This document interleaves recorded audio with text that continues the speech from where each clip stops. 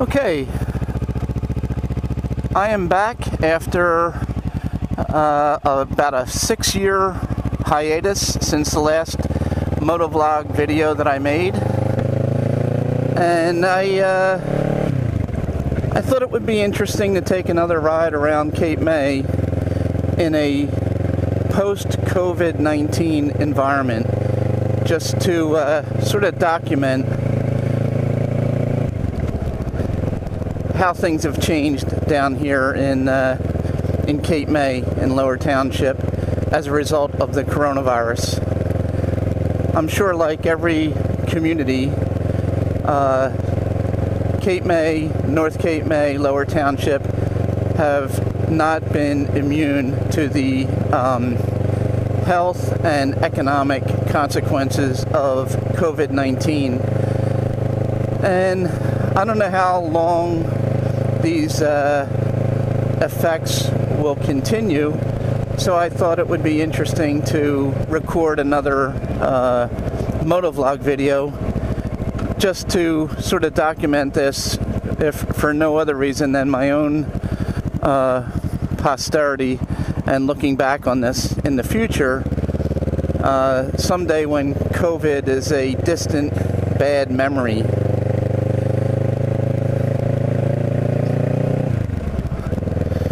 So I'm on the uh, Ninja, and as I said, it's been about six years or so since I last made a motovlog. I've used the channel, my channel, uh, in the past several years solely to record my granddaughter's uh, gymnastics routines, which is helpful because I get a company to evaluate, review, and evaluate her routines and uh, send me reports on all of the uh, things that she would get deductions for in her competitive meets.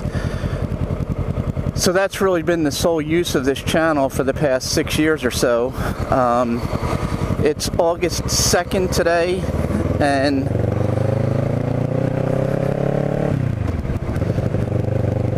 and I just uh, was looking at my channel and saw that I haven't really used it for motovlogging in six years or so, so I thought it would be, you know, a worthwhile effort. I'm riding on Bayshore Road at this point, and I guess at this point, you know, you can't really see any noticeable difference uh, from six years ago to today. But I think when you get over to Cape May, you'll see some of the impacts.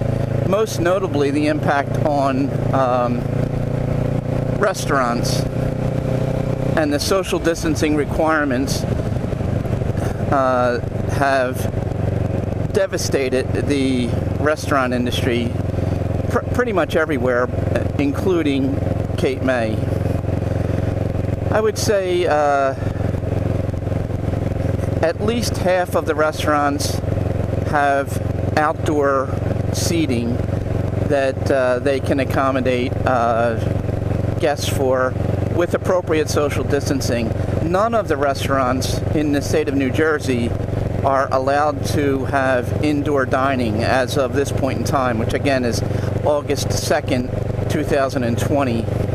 And as I said, the ones that can uh, accommodate outdoor seating are doing so. Many of the small little bistro type of restaurants simply don't have that capability, so they are limited to carry out and curbside pickup. Um, and some of my favorite restaurants are just those types of small bistros uh, where they just don't have the um, ability to set up tables outside. Um, so it, it's really been, uh, it meaning COVID, has been devastating to the industry, uh, the restaurant industry down here. And you'll see some of that. You'll see how some of the restaurants have, have dealt with it. Uh, and also the um, requirements for social distancing affect everything in Cape May. It, it affects the miniature golf courses, it affects uh, it affects the convention center. It affects um, you know, uh, the, the beaches require social distancing. And they also um, have a mask requirement in New Jersey when you cannot social distance. Any, any business to enter requires a mask. The uh, mask requirements for outdoors is when you cannot consistently socially distance. So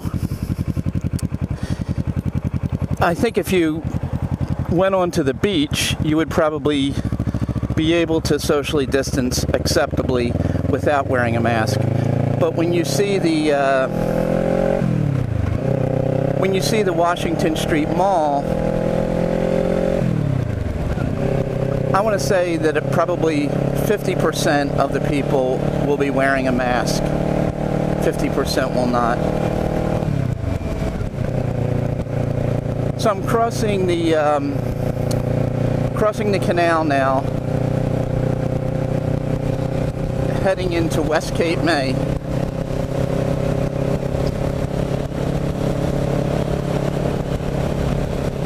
It's a beautiful day. The uh, hurricane, I'm not sure how you pronounce it, it's, uh, I, I, call it Isaac, but it's really not Isaac. It, I forget how you pronounce the name of the storm. But that is coming up the coast, and it's expected to hit here on Tuesday. I don't know that it's still going to be hurricane force winds when it gets here, but uh, they're expecting very bad weather here on Tuesday. Uh, Monday, I guess starting late Monday and throughout the day Tuesday. But today it's a beautiful day. Uh, it's probably in the low 80s, a little bit overcast, as you can see on the video, hopefully. Um, and over the past uh, six years since I made a moto vlog, a few things have changed for me personally. Uh, the most notable one is I now have three grandchildren instead of one. Uh, and my grandkids are the light of my life with uh, my wife and I. We, we adore them, and that's been by far the most difficult part of this whole COVID thing is separating from our grandkids. Up until February of this year, my wife and I were not remote grandparents. I mean, we were intimately involved in our grandkids' lives. I used to um, take my granddaughter Madison to gymnastics every every at least once a week, and uh, really became her sort of unofficial gymnastics coach. And my wife would babysit our, our youngest, which is uh, coming up on her second birthday, so she's almost two years old. And she used to do that at least once a week, and we can't do that anymore. And my grandson, which or who turns six next month, uh, we used to pull him out of his daycare and surprise him and take him to movies and uh, take him to the bowling alley and things like that uh, just to break up his week. And with the onset of COVID, we've not been able to do any of those things. And that has by far been the most negative aspect of coronavirus for my wife and I.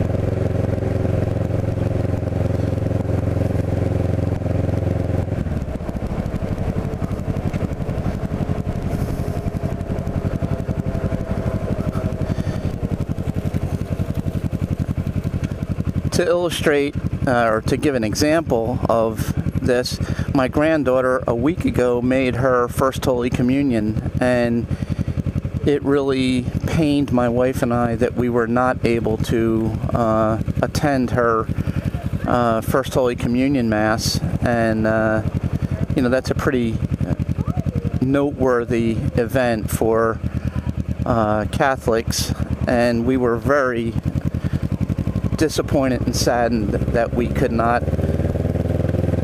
attend her mass and, and be able to celebrate that with her and we couldn't go out with their family afterwards. So it's been a, uh, a rough six months from our standpoint on you know on that.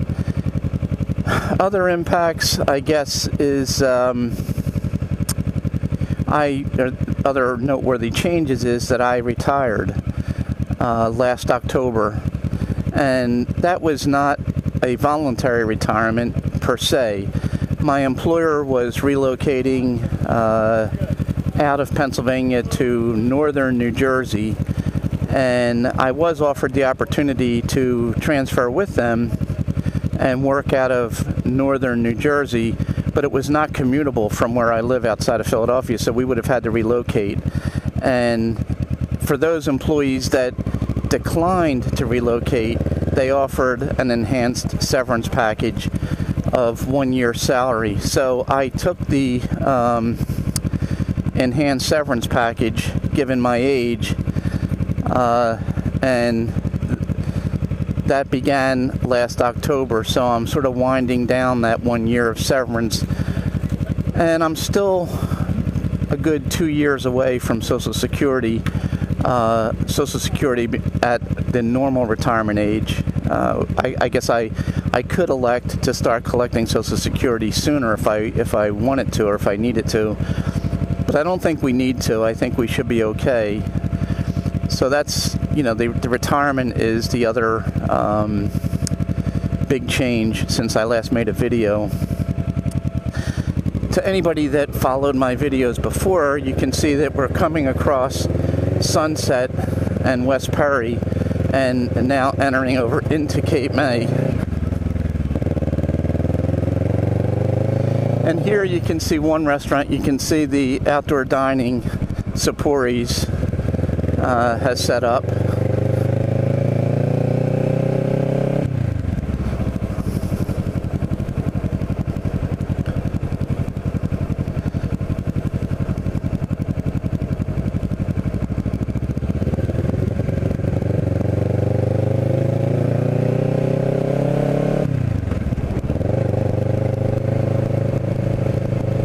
Coming up on Beach Drive here in Cape May.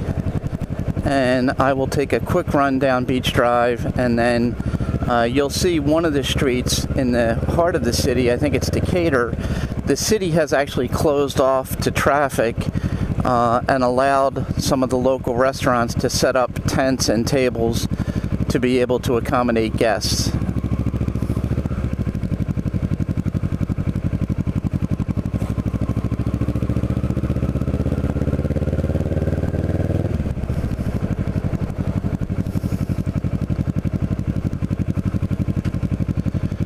I think, you know, as I said, I think uh, it, it, goes without saying that COVID has had a devastating effect on businesses everywhere, but this community, uh, Cape May, I think, has been particularly hard hit because it's it's a seasonal entertainment uh, resort economy, and for the better part of the last the better part of the last six months, hotels were not even permitted to take any guests. So many of the hotels were were literally shut down. Some of the other uh, consequences of the coronavirus pandemic had other cascading effects on the economy here. As one example, many of these restaurants and businesses down here employ foreign exchange students for the season. And they come here largely from Europe on J1 visas. And as part of the effort to um, control further spread of coronavirus, the uh, the J1 visa program was was shut down, and here I am at the uh, at the cove, and you can see the number of people here. It's, it looks like a pretty decent crowd. It's still early in the morning. It's probably not even 11 o'clock yet. So, a pretty decent crowd. This is the pavilion, and I'm at the end of the promenade. And as you can see, the promenade, if you can see that sign, it's one and a half, 1.4 miles from end to end.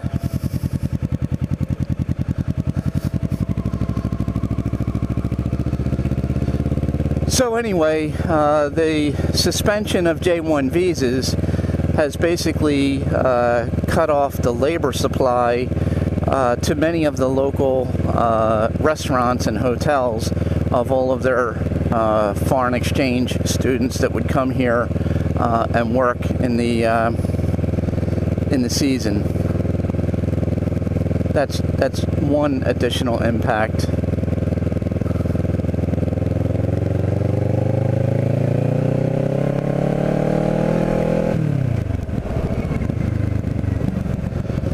I don't know if you can tell this on the video or not. I'll know when I get back and, and upload it.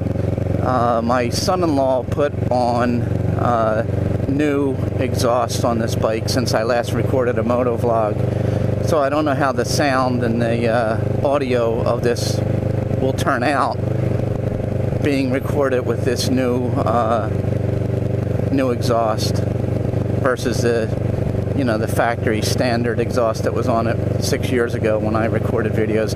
I still have the uh, the Harley, uh, which I usually ride. I'm not sure why I started recording moto vlogs on the Ninja as opposed to on the Harley, but in any event, I'm coming along here, uh, Beach Drive, and I guess at this point, not much looks really different than the pre-COVID days you can see it's still, there's now a pretty decent crowd, but you can see some of the people wearing masks. But as you can also see, not everybody's wearing masks. And as, it, as I said before, that's okay.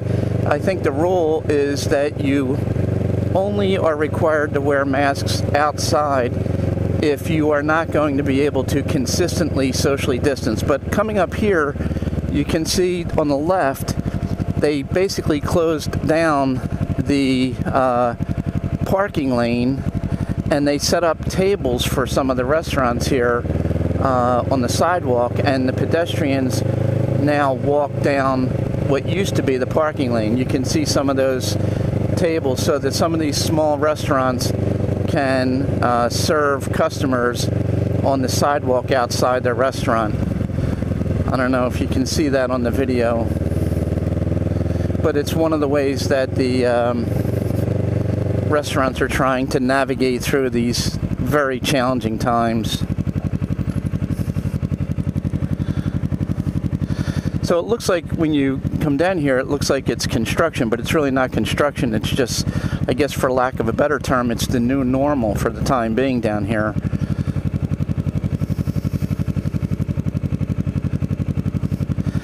since retiring, uh, I, I, think in my very first motovlog that I recorded, I indicated that uh, I was contemplating moving down here in retirement. And when I retired, we were spending considerably more time here um, than we than we used to. But we did not move here, and during the uh, the height of the uh, pandemic, we were not even coming down here for well over three months because as a reasonably small community, it was there was a, a lot of concern, rightfully so, I guess, on the part of many of the local residents that as as the economy shut down in many places, a lot of people that owned second homes would flock down here and decide to sort of quarantine down quarantine down here and in the off season which is when all this was happening say in, in march and april uh, the healthcare system down here and the other commercial estab- establishments like the um, grocery stores could not accommodate the large influx of people that typically they can accommodate during the season. So there was a lot of strong encouragement uh, from all of the local government officials to second homeowners to not come down here uh, during the quarantine. So my wife and I, out of respect for the, uh, out of respect for the uh, people that were full-time residents, we decided to remain up in Pennsylvania for three months or so and did not come down at all. But since uh, since Pennsylvania and New Jersey moved into the green phase, they allowed uh, the go- government officials here. I don't want to say they allowed because you were legally, if you own a home here, you were always allowed to come. Once they moved into a green phase, they sort of welcomed second homeowners to come back, and my wife and I did did just that.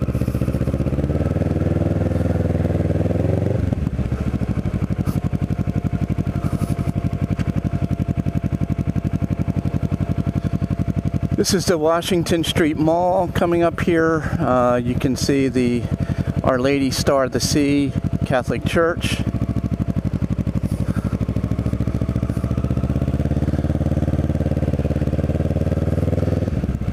On the right hand side is the back end of the Washington Street Mall, which I, I'm sure everybody, the handful of people that will look at this video, know that already.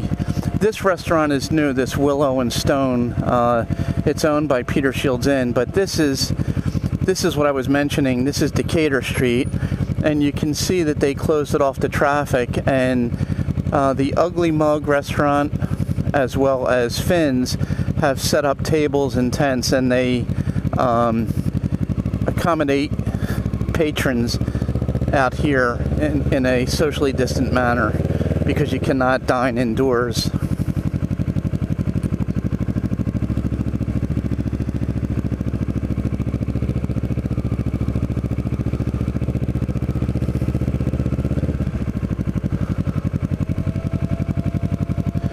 See some tables here.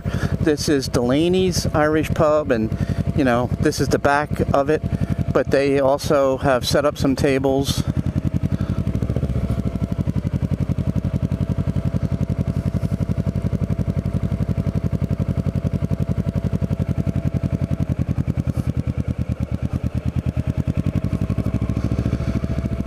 This restaurant here on the right is Tish's restaurant, and they always had, in addition to indoor dining, some outdoor dining options. So that's not anything really new as a result of coronavirus. Congress Hall, which is right in front of me, the, the yellow building, uh, for a long period of time uh, was not able to take any guests. And even now, in the wake of um, coronavirus, they have restricted uh, admission to some of the, the bars and lounges inside to guests of the hotel, which is unfortunate because one of the things that my wife and I used to like to do was go over there and spend an afternoon sitting in there having a glass of wine or get some hors d'oeuvres and snacks. Uh, and it was a nice way. They would always have someone playing the piano in there, and it was a nice way to spend an afternoon, especially if the weather was not nice. But that's not an option to us anymore because they wanted to create as safe an environment for the guests of the hotel as they could. So they have restricted admission to all of those places to people that are actually staying at the hotel, which, while it's disappointing for, for us, it's understandable.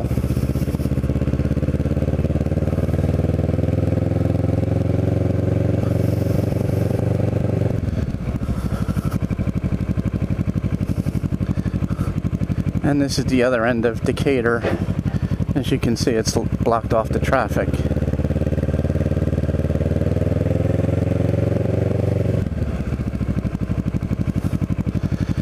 Over here to my left is a restaurant 410 Bank Street, uh, which is a, one of the fine dining restaurant establishments in Cape May. And as you can see, next to the Cape May stage, there's a little parking lot, and they've converted that into some outdoor um, seating to try to accommodate guests.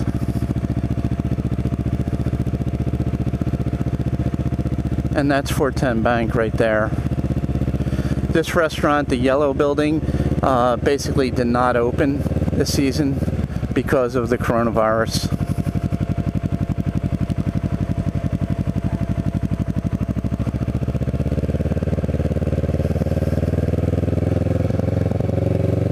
So anyway, that's a little quick tour through uh, the heart of Cape May, so you can see some of the very obvious consequences of uh, of COVID. Another one that I can mention is here on my right is uh, the Cape May, one of the main miniature golf courses in Cape May, right here and they never open this summer.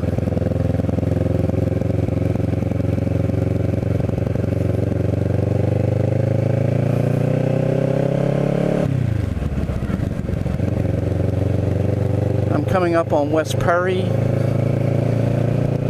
On the left is Cape May, and on the right is, uh, I guess, West Cape May.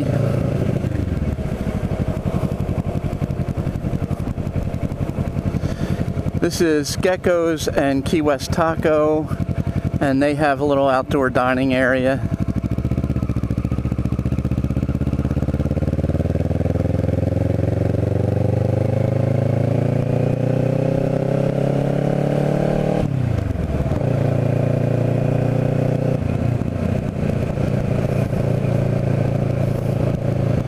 Another little restaurant that my wife and I uh, would frequent is coming up here on the right It was called uh, Backstreet Simply Delicious. It's up here on the right where you, I don't know if you can see it from here, the uh, sort of the yellow brown awning. And they only do curbside uh, pickup and takeout. They have not opened up. You can, I don't know if you just noticed the sign I just passed where it said curbside pickup only.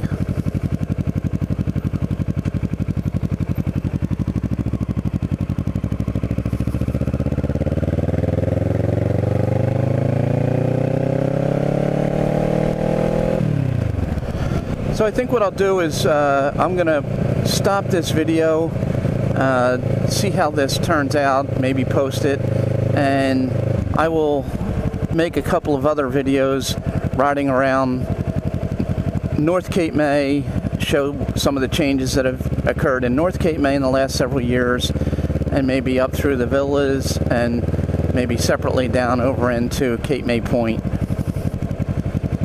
So anyway, I hope this turns out, and uh, you know, yeah, that's that's it.